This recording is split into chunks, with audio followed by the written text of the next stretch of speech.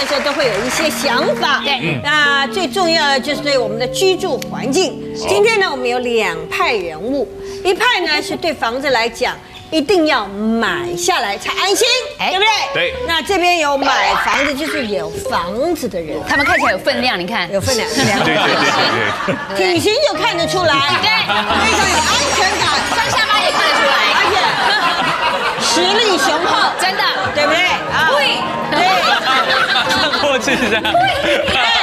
人家的名字都有田就有地啊。哎呦，田大全先生。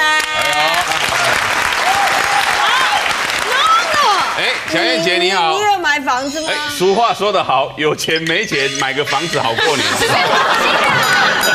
这样说吗？也是很哎，对对对。那你买了几栋房子？因为就顺哥嘛，宪哥跟我说，你这个从事演艺事业，你存到钱一定要买房子，不要学人家年轻人去玩车。顺哥，顺哥有房子啊？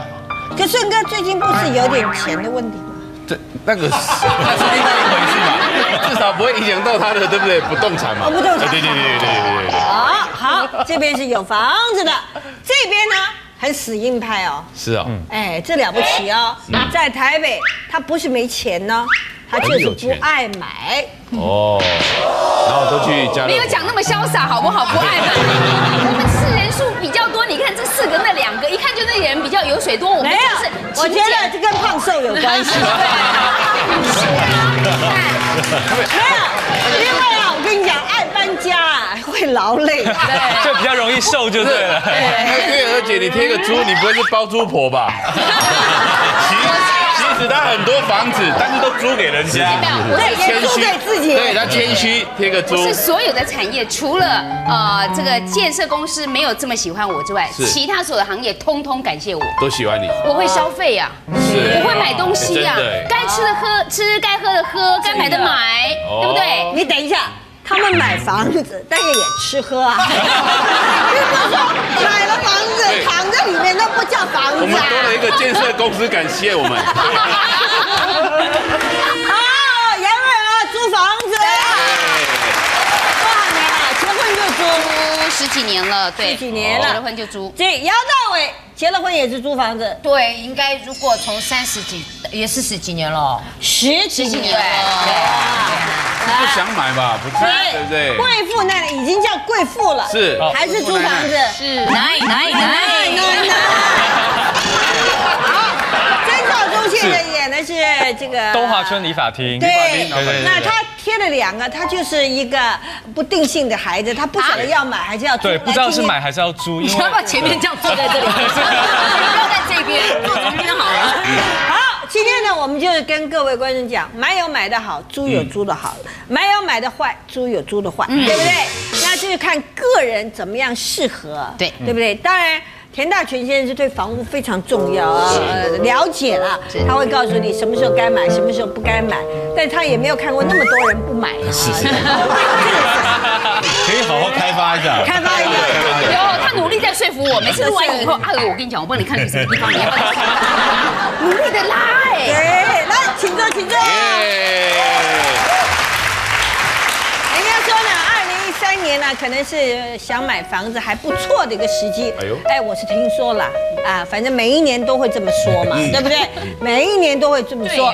那买房子呢，大家也都说嘛，如果钱少呢，就买小一点、远一点，啊，然后呢，买完了以后换成将来多赚一点钱呢，再换大一点的。对，那我。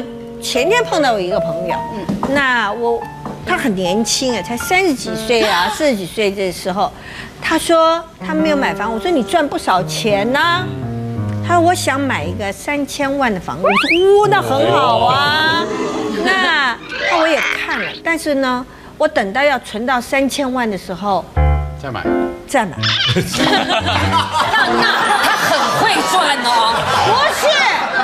这个想法是我爸爸那个年代，就是说他不要贷款，他是说他要有了三千，一次付清。我说你，我除了黑钱以外，很少人家一次付清。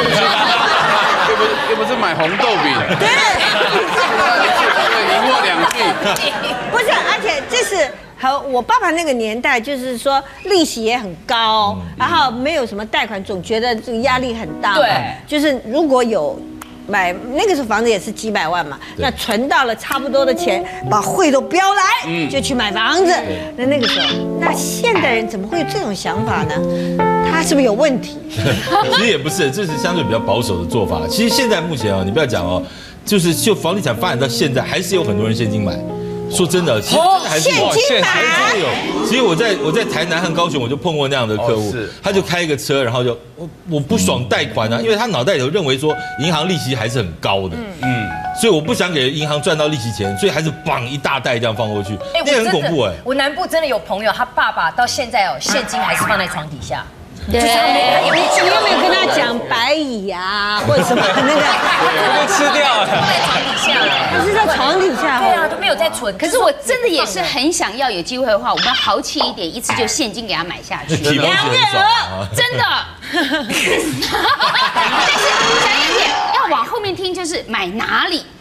对，我如果我现在像我是基隆长大的小孩，我回基隆现金买，OK，没问题，我现金买。可是你刚刚讲的台北三千万，那我就要讲的比较 想很久这样子。对，不过我在想，买房子一定有买房子的原因，他们租房子也有租房子的原因。那月娥租房子。最重要的原因是因为小孩念书，是不是？小孩学区，其实小朋友读书，有很多朋友说啊，你要买房子哦，那你就往那个呃台北市中心再往外一点，比较便宜。是。就后来我发现我的朋友有一些，他们就住住在外围，真的买的房子比较便宜。结果让孩子去读明星学校，因为附近的学区他不喜欢。就小朋友就花了很多时间在通车、跟缴学费、跟读私立学校。那我其实是考虑到孩子没有错，但是我一开始结婚的时候，我们就夫妻两个人都是租房子。幸好我租房子这件事情到现在还可以维持我的婚姻，我就感谢我老公喽。为什么？夫妻两个如果一个赞成买，一个赞成卖，像那个有没有？一个买一个租，那个不是不就要吵架吗？也对。